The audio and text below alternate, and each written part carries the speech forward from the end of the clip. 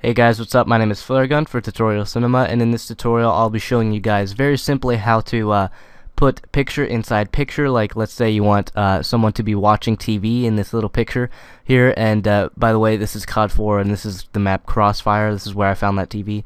Um, but yeah, let's say you want to uh, have like them watching something in that TV, then this is the way how to do that.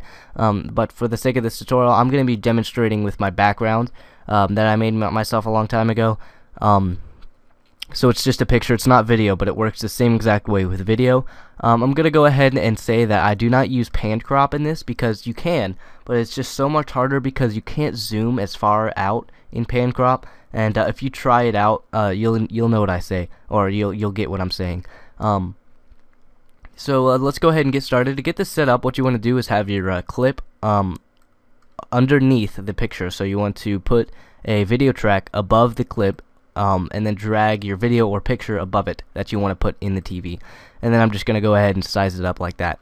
Um, so anyways, what we want to do is we want to go into the track motion of uh, the top video track. Now the only thing that's the downfall to this is that if we want to use anything else in that video track later on, we're going to have to keyframe it because um, when you mess with the track motion of a track, it does the whole track um, uh, across the whole timeline. So you're going to have to do some keyframing if you want to use that track for other things.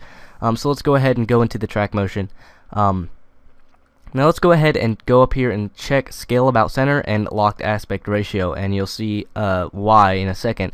Um, but anyways, let's go ahead and drag on the corners to try and uh, size this down a bit.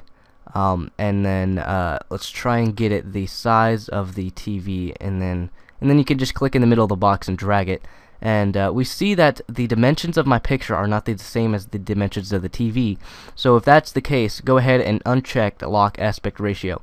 Um, so now I'm just gonna drag on the corners a little bit more and see if I can get um, the size of the TV and I'd say that's good for the sake of the tutorial. Um, so yeah that's actually pretty much it if you have a moving uh, still image. Um, so I'm just gonna go ahead and uh, play this real quick.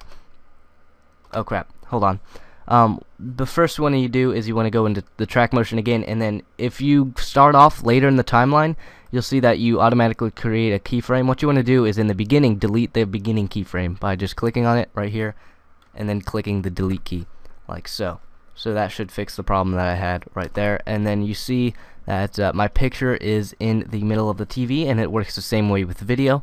Um, you can also add some video effects to make it looks like it matches a little bit more like make it a little more brownish uh, or so. Uh, but uh, or maybe less quality because uh, the quality seems to be a little bit different.